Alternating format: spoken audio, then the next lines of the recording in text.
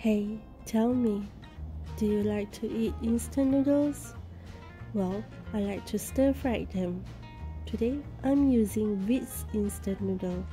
320 gram Vit's instant noodle. Cook the noodle until 80% cooked. 3 tablespoon cooking oil. 2 tablespoon minced garlic. 50 gram chicken slices. Half onion.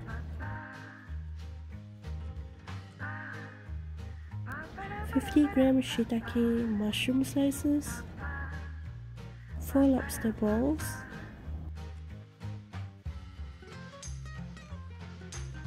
Thirty gram carrot slices, season with 1 tablespoon oyster sauce, some choy sum, add the instant noodle, 1 tablespoon oyster sauce, 50 ml chicken stock, 1 tablespoon soy sauce, 1 tablespoon dark soy sauce,